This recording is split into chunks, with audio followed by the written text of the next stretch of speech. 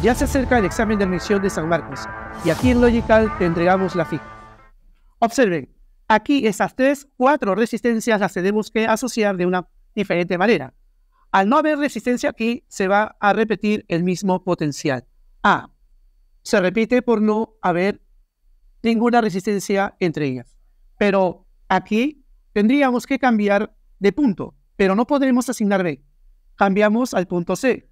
Al no haber nada, se repite C. Aquí también, al no haber nada, se repite la C. ¿Y qué vamos a observar? Vamos a observar tres resistencias que tienen como extremos al punto A y al punto C, al punto A y al punto C, A y C.